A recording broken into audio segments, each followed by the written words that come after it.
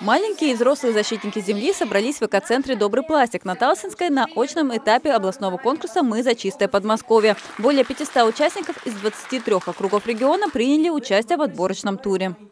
За каждой из этих работ стоит чувственное и эмоционально доброе отношение к родному Подмосковью, к экологии родного региона и понимание того, что нам жить в этом регионе, нам ходить по этим улицам, нам дышать этим воздухом.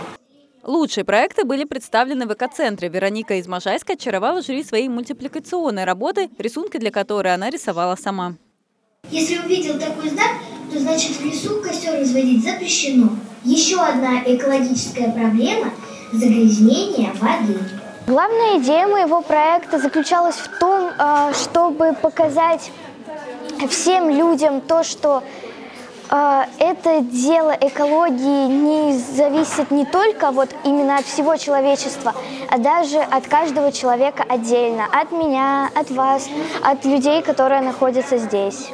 Ученик Щелковской гимназии номер 2 Лев предлагает установить в школах специальные баки для вещей, из которых дети вырастают во всех смыслах. Почему бы старшекласснику не отдать когда-то любимый рюкзак с Бэтменом первоклашке? Проект «Вещеворот» жюри оценила по достоинству и присудил ему первое место в номинации «Социально-экологический проект» среди учащихся пятых-восьмых классов. Мой проект о рациональном потреблении, то есть об отказе от покупок некачественных или ненужных вещей – это будет осуществляться за счет того, что школьники на добровольной основе будут приносить вещи, которые им уже не нужны, и отдавать их нуждающимся в этом детям.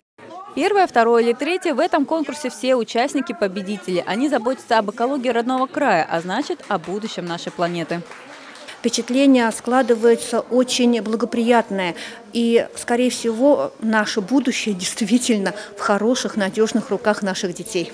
Во многом это благодаря тому, что сегодня экокультура пронизывает буквально все сферы жизни современного человека. И каждый взрослый, занятый будто в образовании или на предприятии, чувствует за собой ответственность прививать любовь к природе подрастающему поколению.